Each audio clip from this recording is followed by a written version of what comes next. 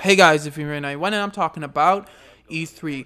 Now remember how I made a video saying that E3 may go digital this year? It basically just meant they wouldn't do any like show floor and whatnot. It'd basically just be, in my mind at least, the presentations basically. Well, apparently it's official that they're not doing that anymore. Now this was announced like last week. Somehow I missed it. I, I don't know. I just missed the news. But so basically it seems like the ESA will instead be trying to work with exhibitors to promote like individual showcases.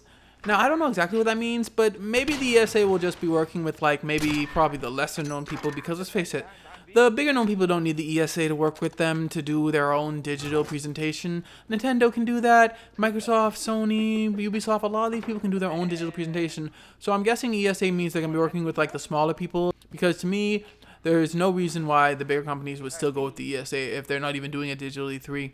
So it kind of sucks. That means that there'll be absolutely no E3 this year, not even in digital form.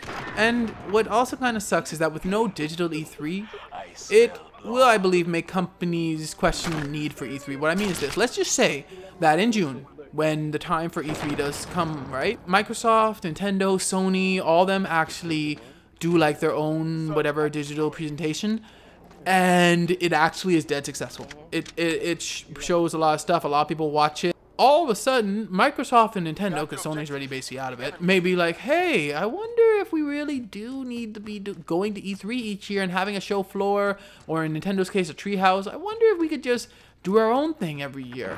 And one thing may lead to another, and all of a sudden, no E3 whatsoever. And that would suck, because I really like E3. Even though, as I said before, the main things to me are the conferences, it is still enjoyable, I believe, for people there especially, to actually see the show floor, try out the demos and whatnot, I think that we'll be losing something if we don't have an E3 at all because everything will just be digital and then there'll be no like show floor, there'll be no like trying out the demos, at least in physical form. And I just think that E3 still has a place, even though E3 has been getting less and less relevant, I believe, year after year. But what do you guys think about absolutely no E3 in any form this year? Let me know in the comments below. Thanks for watching, like, subscribe, and God bless you all.